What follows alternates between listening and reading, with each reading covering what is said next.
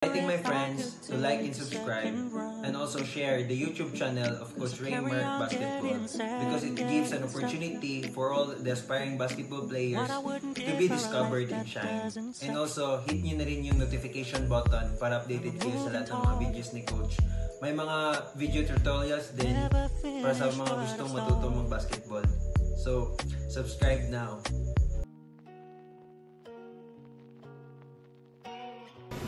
Magandang araw sa inyong lahat. Ako nga po pala si Raul Carlito III and Italian. 17 years old, playing position, small forward and shooting guard from Malaybalay City, Bukidnon at nag-aaral po ako ngayon sa Jose Rizal University. Nagsimula ako maglaro ng basketball nasa edad ako ng 12 years old kasi unang career ko talaga is naglalaro ako ng soccer kaya ayun, di pinalad so lumipat ako ng sports baka may makuha ako dito, ganun. So, pinalad naman pagdating ng basketball. So, ayun, tinutuloy-tuloy ko na rin po.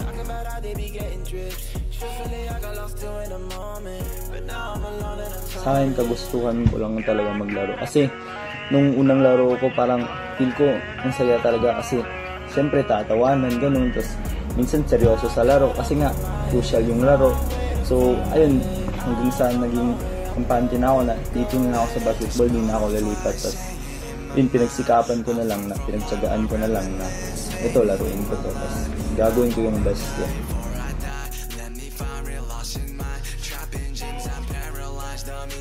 Ginawa ko lang yung part ko as a player. Tapos, nag-extra workouts ako. Gumigising ako 4am. Tapos, nag-workout na ako agad niyan. Hanggang 7. Depende sa klase ko. Pag may klase ako ng 9, tatagal talaga akong 8. As long as kaya ko mag-train, ginagawa ko yung part ko. Dahil din kay Coach Raymond, syempre napunta din ako sa Manila kasi isa siya sa coaches na tumulong sa akin na hatakin ako pataas at isang malaking shoutout po talaga si Coach Raymond na talaga. Maraming salamat po.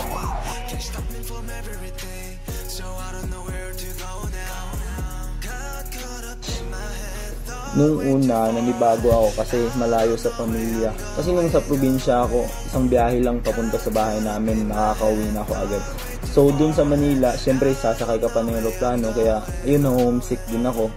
Tapos napapaisip ako na parang titigil na ako sa paglalaro ng basketball kasi uuwi na lang ako ng probinsya, kaya ayun, nag, nag-pray lang ako na nag-pray. Tapos niis ko yung mga sakit na dinadara, dinadanas ko doon and isang shoutout din kay William C. Kasi isa siya sa mga teammates ko na sumalubong sa akin agad pagdating ko sa dorm. At siya yung unang naging kaibigan ko doon tapos kay Chino Palyares sila din yung dahilan ko nawala yung homesick ko. Kasi nag-enjoy din ako agad nung unang dating ko. At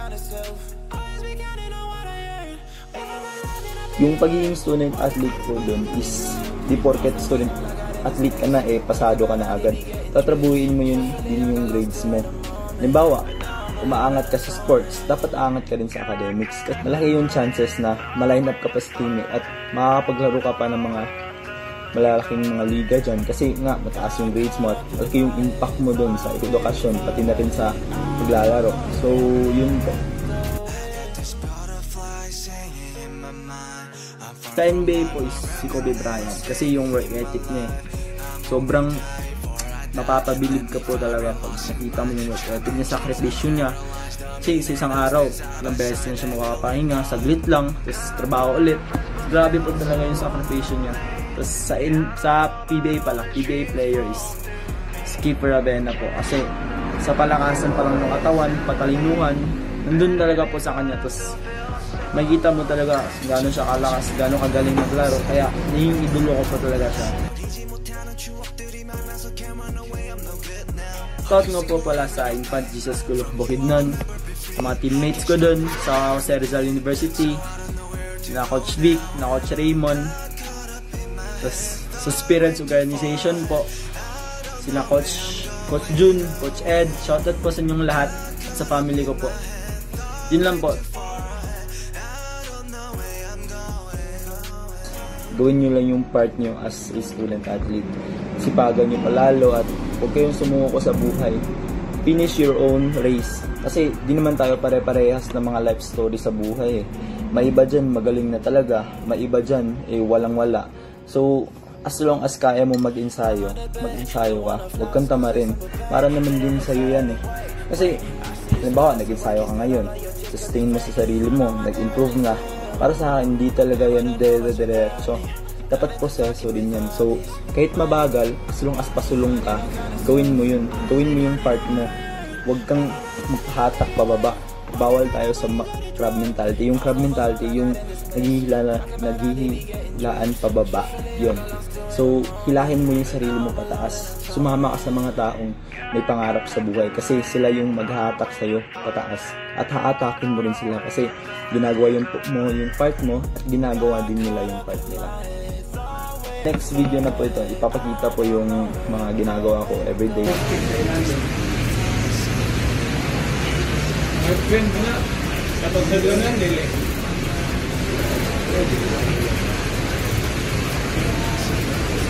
sa pabayo, sa pabayo. Ang naharap sa pabayo kay cream, manaskin, dark cream. Wala ka bakit? Di ba kamantik? Ato mo ay... Ay, di seven, ang pabayo.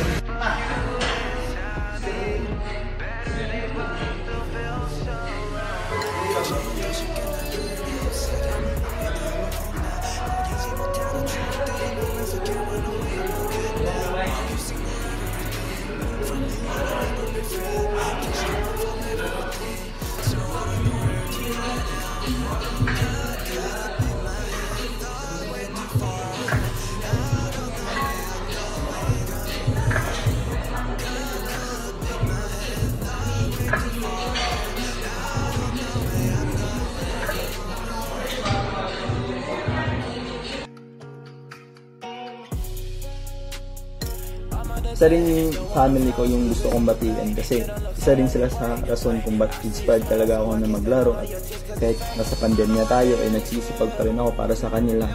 So, isang malaking shoutout din po pala sa Spirits family kasi sila yung naging una kong tahanan sa paglalaro ng basketball at isa rin sila sa dahilan kung ba't na-develop ko yung skills ko at maraming salamat po sa inyo at sa inyong lahat po keep safe po kayo palagi at God bless po.